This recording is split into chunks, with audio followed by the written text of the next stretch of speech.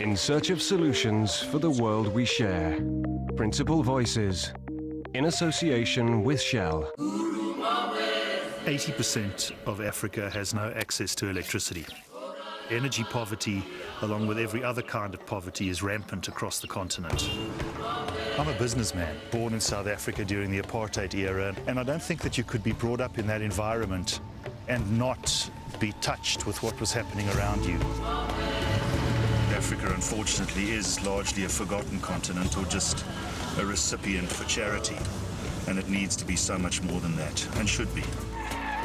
Human-powered energy is extremely reliable, whether we harness that in a radio, in a flashlight, and ultimately it's free. My very first reaction was this is a massive business opportunity.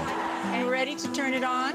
Beyond that, I became much more excited about what this technology could do to solve the, the massive issue of energy poverty in the world. Three!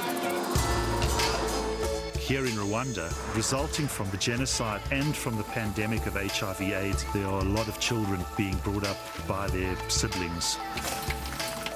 Yet they have enormous dignity and something as simple as a radio, especially one with a sustainable energy source, really provides them a bridge to information and to knowledge, gives them hope. In association with Shell.